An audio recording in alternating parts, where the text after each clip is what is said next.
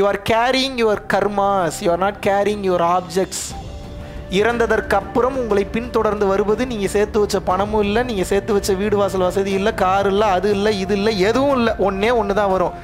நீங்கள் செய்த பாவம் மற்றும் புண்ணியம் மட்டும்தான் உங்களை துரத்தி கொண்டு வரும்.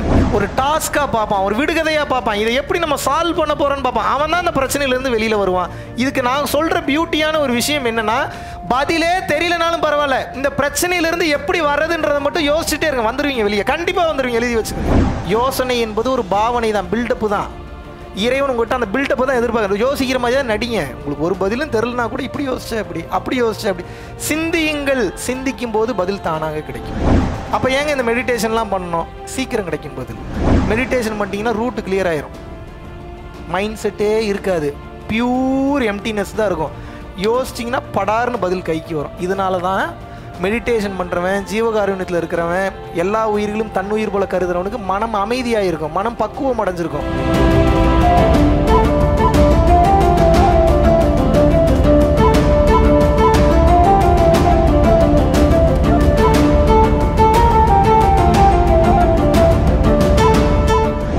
நமது இந்தியாவின் வரப்பிரசாதமாக அமைந்த இமயமலைகள் சிவபெருமான் குடியிருக்கக்கூடிய பகுதியாக நமது இந்து மக்கள் வந்து அனைவரும் கருதுகின்றனர். இமயமலைக்கு பின் இமயமலைக்கு முன்னும் ரெண்டு வகையாக ஒவ்வொரு மனிதனோட இமயமலை பயணத்தையும் வந்து பிரிக்கலாம். நிறைய சித்தர்கள் நிறைய முனிவர்கள் நிறைய மகான்கள் நிறைய ரிஷிகள் ஜலசமாதியா இருக்காங்க ஜீவசமாதியா இருக்காங்க ஒளி உடலா இருக்காங்க ஜூன் இருபத்தி ஒன்பதிலிருந்து ஜூலை ஆறு வரைக்கும் கிட்டத்தட்ட ஒரு ஏழுல இருந்து எட்டு நாட்கள் வந்து ஒரு ட்ரெக்கிங் எல்லாம் போய் அற்புதமாக சிவபெருமானின் நேரடி அருளை பெறுவதற்குண்டான ஒரு மகா யாத்திரையாக வந்து இந்த கேதார்நாத் மற்றும் பத்ரிநாத் ட்ரிப் வந்து இருக்க போகுது இந்தியாவில் இருக்கிறவங்களும் சரி வெளிநாடுகளில் இருக்கிறவங்களும் சரி யார் வேண்டுமானாலும் உங்களது பெயர்களை வந்து கீழே உள்ள கான்டாக்ட் நம்பருக்கு கான்டாக்ட் பண்ணி முன்பதிவு செய்து கொள்ளலாம். சாதாரணமான இடங்களில் நாம் மெடிடேஷன் பண்றதுக்கும் இமயமலை போன்ற இடங்களில் வந்து மெடிடேஷன் பண்றதுக்கும் இருக்கக்கூடிய ஒரு மாபெரும் வித்தியாசத்தை மாபெரும் ஆற்றலை வந்து நீங்கள் வந்து நேரடியாக வந்து உணரப் போகிறீர்கள். உங்கள் அனைவரையும் கேதார்நாத் மற்றும் பத்ரிநாத் யாத்திரையில் சந்திக்கிறேன். நன்றி வணக்கம். ஸோ யதார்த்தமாக போயிட்டு அந்த பயிற்சியில் உக்காந்தேன். காலையில் எட்டு மணிலேருந்து இரவு எட்டு மணி வரைக்கும் என்னால் அவரோட பேச்சிலேருந்து மீள முடியல. அவ்வளோ இன்ட்ரெஸ்டிங்காக இருந்தது. எனக்குள்ளே இருந்த ஆன்மீக தொடர்பை வந்து ஆன்மீக விஷயங்களை வந்து இன்னும் அவர் ரொம்ப புட்டு புட்டு புட்டு அந்த ஒரே நாளில் கொடுத்தாரு. பல விஷயங்கள் எவ்வளோ சொல்கிறதுன்னு எனக்கு தெரியல. பல விஷயங்கள் நான் உணர்ந்தேன். எனக்குள் எனக்குள் நிறைய விஷயங்கள் உணர்ந்தேன். அதில் ஒன்று வந்து நமக்குள்ளே உள்ள எனர்ஜியை குருஜி இவ்வளோ அழகாக எடுத்து காமிக்கிறாருன்னு தோணுச்சு மனசுக்கு. உண்மைகளை ஒன்று ஒன்றா புட்டு வச்சாரு. அவர் கூட இருந்தால் இன்னும் நிறைய விஷயங்கள் புரிஞ்சு நல்லா புரியுது. அவர் சொல்கிற விதம் அவர் பேசுகிற விதம் என்ன என் மனசில் தோணுதோ அதை வந்து அழகாக அவர் பிக்சர் பண்ணி அவர் இன்னும் அதை விரிவுபடுத்தி பேசி இன்னும் தெளிவு கொடுக்குறாரு. மறுபிறவியை பற்றி பேசாத சித்தர்களே கிடையாது. திருமூலர் தெளிவாக எழுதுறாரு பாவம் நீ அதிகமாக செய்தாய் என்றால் மனித பிறவியில் இருக்கும்போது சொல்றாரு பாவம் நீ அதிகமாக செய்தாய் என்றால் மலத்தில் ஊறும் புழுவாக நீ பிறப்பாயின்னு எழுதுறார்.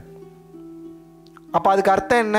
மறுபிறவி என்பது உண்மைன்னு அர்த்தம். திருமூலர் திருமூலர் வாக்கெல்லாம் எப்படின்னா மூலனின் வாக்கு முடிவான வாக்குன்னு அர்த்தம். அப்படின்னா என்ன அர்த்தம்? மூலன் வாக்கு முடிவான வாக்கு. அப்படின்னா என்ன அர்த்தம்?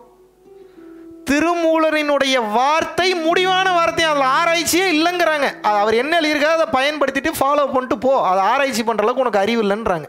புரியுதா உங்களுக்கு? அப்போ அவர் என்ன சொல்கிறாரு மறுபிறவி என்பது உண்மையான ஒரு விஷயம்ங்கிறாரு. அதை பற்றி பேசாத ஆட்களே இல்லை. வள்ளலார் கிட்ட கேட்குறாங்க வள்ளலார் என்ன சொல்கிறாரு ஒரு வீட்டை காலி பண்ணிவிட்டு இன்னொரு வீட்டுக்கு போகிறீங்க எப்படி அந்த பொருளெல்லாம் அந்த வீட்டில் விட்டுட்டு வந்துடுவீங்களா நீங்கள் அவ்வளோ பெரிய கோடீஸ்வரனாக இருந்தாலும் என்ன பண்ணுவான்? எடுத்துகிட்டு தான் வருவான் விட்டுட்டா வருவான்.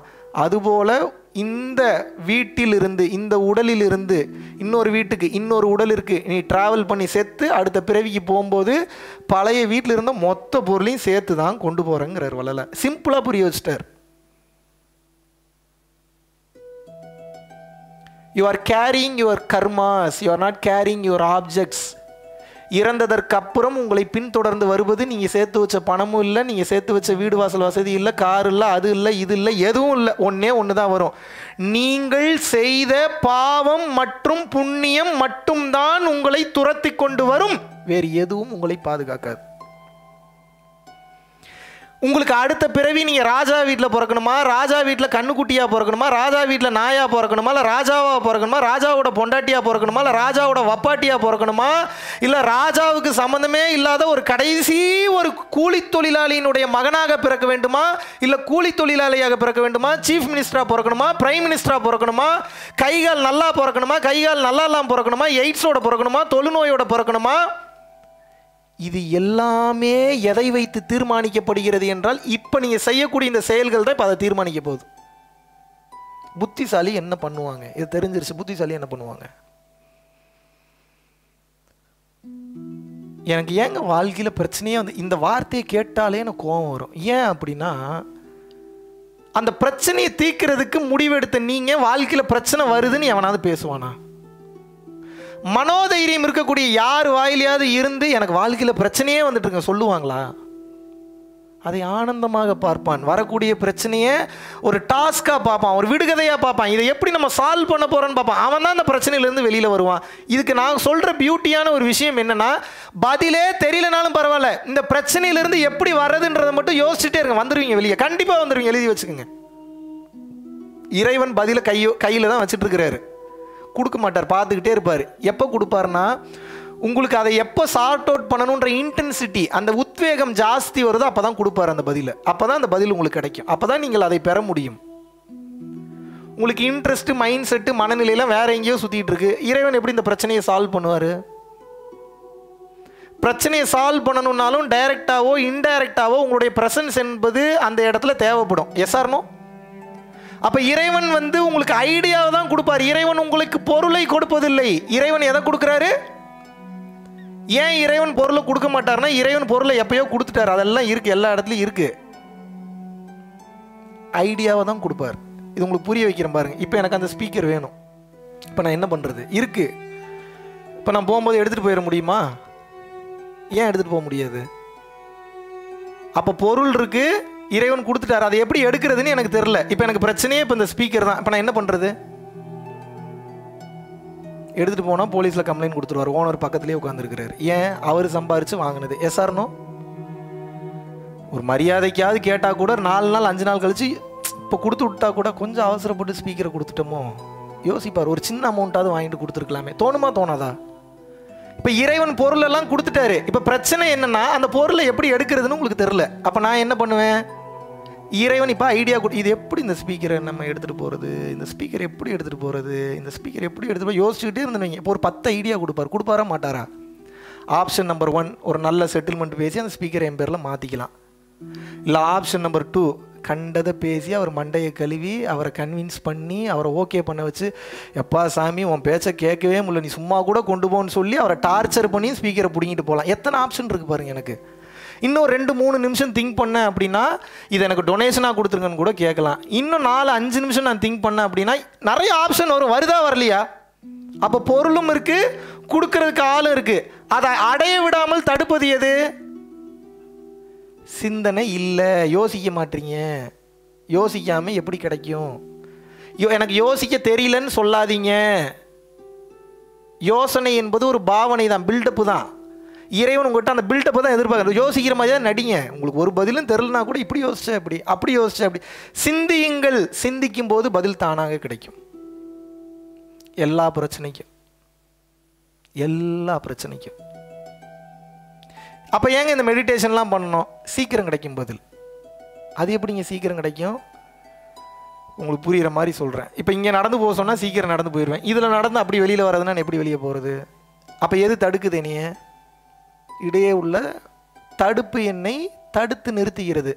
அதுபோல கண்ட எண்ணங்கள் மனதில் ஓடும்போது பதில் வர்றதுக்கு இறைவன் கொடுத்தா கூட அந்த இதை தாண்டி இந்த இதை தாண்டி இந்த தடுப்பை தாண்டி அந்த தடுப்பை தாண்டி வந்து உங்கள்கிட்ட சேர்றதுக்கு லேட் ஆயிரும். மெடிடேஷன் பண்ணிட்டீங்கன்னா ரூட்டு கிளியர் ஆயிரும். மைண்ட் செட்டே இருக்காது. பியூர் எம்டினஸ் தான் இருக்கும்.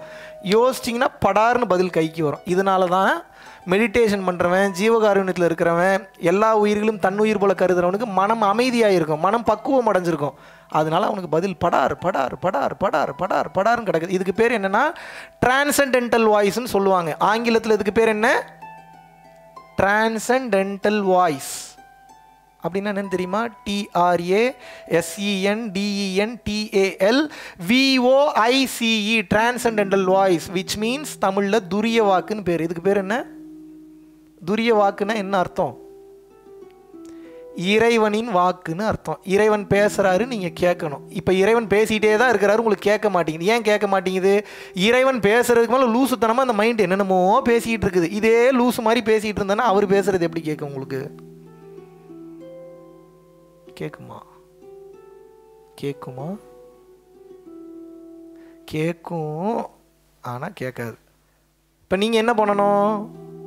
இந்த லூஸ் மாதிரி பேசிகிட்டு இருக்கான்ல ஒருத்தன். நீங்கள் இங்கே பேசுகிறது கம்மி தான் இங்கே அதிகமாக பேசுகிறீங்களா இது அதிகமாக பேசுதா? மென்டல் இது. எழுபத்தி ரெண்டாயிரம் பேச்சு பேசுது. ஒரு நாளைக்கு எத்தனை பேச்சு பேசுது? அறுபதாயிரத்துலேருந்து எழுபத்தி ரெண்டாயிரம் தாட்ஸ் ஓடுது ஓடுது ஓடுது ஓடுது ஓடுது ஓடுது ஓடிக்கிட்டே இருக்குது. நல்ல வேலை தூக்கம்ன்ற ஒன்றை படைச்சான் இறைவன். தூக்கம்ன்ற ஒன்றை கொடுக்கலன்னு வைங்க. உங்களுக்கு பத்தாது இருபத்தி நாலு மணி நேரம்லாம் திங்க் பண்ணுறதுக்கு பக்கத்து நாளில் அடுத்த நாளில் நான் ஒரு நாலு மணி நேரம் அஞ்சு மணி நேரம் கடன் வாங்கி சிந்திச்சிட்டு இருப்பீங்க நீங்கள் அப்படி ஓடும் தாட் ப்ராசஸ் ஓடுமா ஓடாதா? இறைவனோட கருணையை பாருங்க. தூங்க வச்சுட்டாருங்க படுத்துக்கடா போதும். நீ சிந்திச்சது போதும். தேவையில்லாம மைண்டு ஜாஸ்தி ஓடிடுச்சு. படு படு கொஞ்சம் ரெஸ்ட் எடுத்துக்க.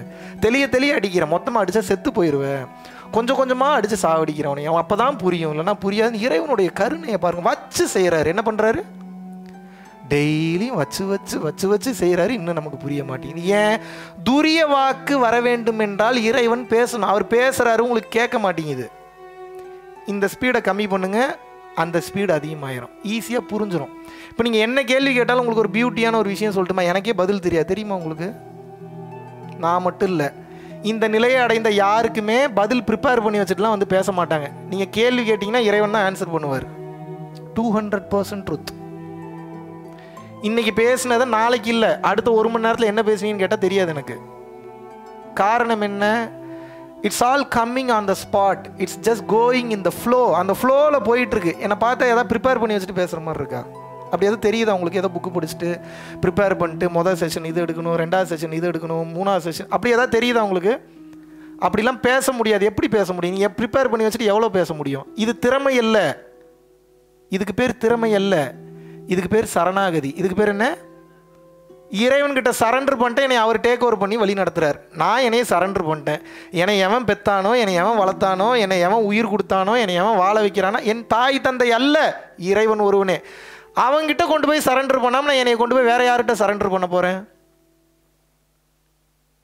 பரம்பொருள் ஃபவுண்டேஷன் அப்படின்னு சொல்லிட்டு நீங்க யூடியூப்ல போய் டைப் பண்ணீங்கன்னா ஆயிரத்தி ஐநூறு வீடியோஸ்க்கு மேல வந்து நம்ம ரொம்ப கிளியரா மிகவும் தெளிவாக வெளிப்படையாக அனைத்து ரகசியங்களையும் வெளிப்படையாக கூறிவிட்டேன். ரொம்ப கிளியரா பேசியிருக்கேன். அந்த டுவெண்ட்டி ஃபோர் ஹவர் சத்சங்லாம் நீங்க பாத்தீங்க அப்படின்னா எல்லாத்தையுமே பேசியிருக்கேன் அந்த வீடியோஸ்ல சாப்பாடு இல்லாம தண்ணி இல்லாம கிளியரா கண்டினியூவா காலையில இருந்து நைட் வரைக்கும் பேசியிருக்கேன். நீங்க பாத்தீங்கன்னா தெரியும். அது போக ஏகப்பட்ட வீடியோஸ்ல ரொம்ப ப்ராக்டிக்கலாக பல விஷயங்களை வந்து ஷேர் பண்ணியிருக்கேன். வாழ்க்கையில ஏதாவது மாற்றத்தை நீங்க மாறணும் இல்லை உங்கள் லைஃப்பில் மாற்றிக்கணும்னு நீங்கள் நினச்சிங்கன்னா ஒன்று உங்கள் குழந்தைய பார்க்க வைங்க இல்லைன்னா நீங்கள் பாருங்கள் உங்கள் குழந்தைகளுக்கு தான் யார் என்பதை உணர வைங்க. தவறான பாதையில் நூறு சதவீதம் செல்ல மாட்டார்கள். அப்படியே சென்றாலும் தவறை உணர்ந்து அழுது வருது திருந்தி மீண்டும் சரியான பாதையில் பயணிக்க ஆரம்பித்து விடுவார்கள். நன்றி வணக்கம்.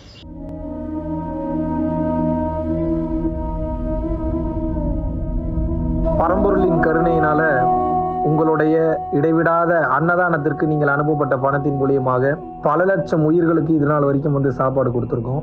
ஸோ கொரோனால இருந்து ஆரம்பிச்சு ஒரு நாள் கூட விடாம பல உயிர்களுக்கு வஸ்திர தானங்களாக இருக்கட்டும் படிக்க முடியாதவங்களுக்கு கல்வித்தொகை கட்ட முடிய விஷயங்களாக இருக்கட்டும் இல்லை ஸ்போர்ட்ஸ் ரீதியாக விளையாடக்கூடிய நல்ல மாணவர்களை அனுப்பி வைக்கக்கூடிய விஷயங்களாக இருக்கட்டும்.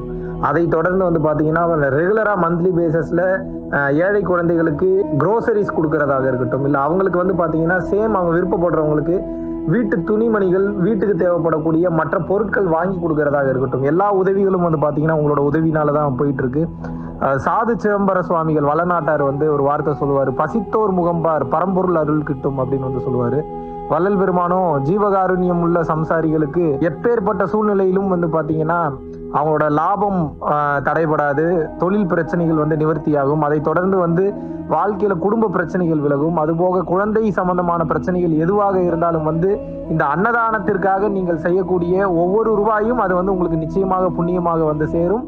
புண்ணியத்தை கடந்த நிலையில் முக்தி பாதைக்கும் அது நிச்சயமாக உங்களை வழிநடத்தும் அதனால விருப்பப்படுறவங்க நம்மளுடைய பரம்பொருள் அறக்கட்டளினுடைய சேரிட்டி ஆக்டிவிட்டீஸ்க்கு தங்களுடைய விருப்பப்படக்கூடிய நன்கொடையை கீழே உள்ள டிஸ்கிரிப்ஷன்ல இருக்கக்கூடிய அக்கௌண்ட் நம்பருக்கு செலுத்தலாம். இதற்குண்டான அந்த அருளை சித்தர்கள் உங்களுக்கும் உங்கள் குடும்பத்தாருக்கும் வழங்க வேண்டுகிறேன். குருவின் பரிபூர்ண அருளாசிகள் குருகடாட்சம்.